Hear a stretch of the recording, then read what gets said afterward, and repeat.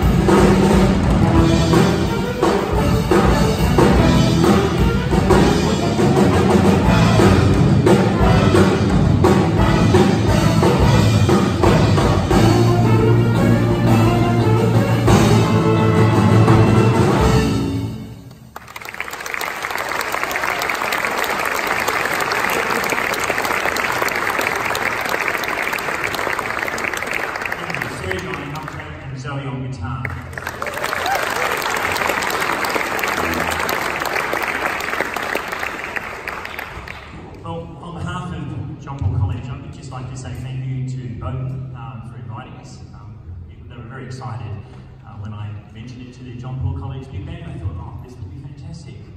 Um, so we were very much looking forward to it. I hope that you've enjoyed our music. And uh, we're going to finish off with a bit of a treat. We again really like it. It was actually the vocal chart, and um, the vocalist got really upset at us that uh, we replaced it uh, with, um, Shannon says, a licorice stick, which, uh, a clarinetist. So I hope that you enjoy it. It's uh, a swing chart, and it's called Big Time. Once again, thank you on behalf of John Paul College. We thank you for having us here.